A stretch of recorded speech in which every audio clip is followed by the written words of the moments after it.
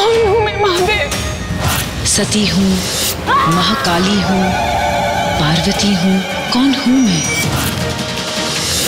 ये वो कथा है जो अंतहीन है।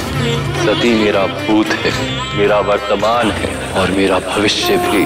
यदि मैं आपका वर्तमान हूँ और सती आपका अतीत तो महाकाली कौन है कौन है? महाकाली अंत ही आरंभ है। शनिवार और रविवार रात सात बजे।